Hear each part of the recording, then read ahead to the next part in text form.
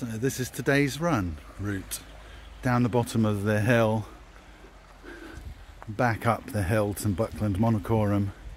You might remember this, this is Denham Bridge.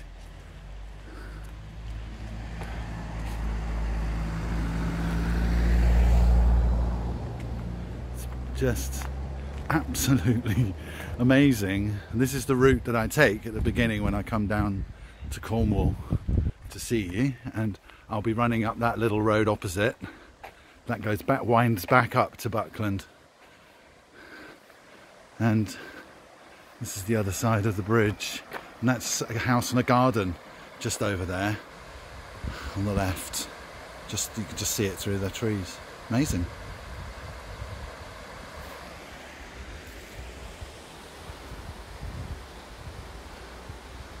There you go, a minute, that's enough.